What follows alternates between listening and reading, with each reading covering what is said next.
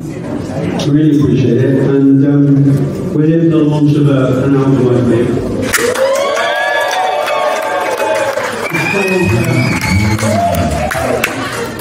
It's called The Clown and the Cigarette Girl. It's all original material. I'm going to play uh, a few songs from the album for you tonight. We'll start off quiet. You might get a bit uh, louder later, but we'll start off quiet. So thanks for your attention. A lot of these songs are, um, you know, have, have I suppose sort of element of folklore about them. And this first song is actually based on a medieval Welsh poem.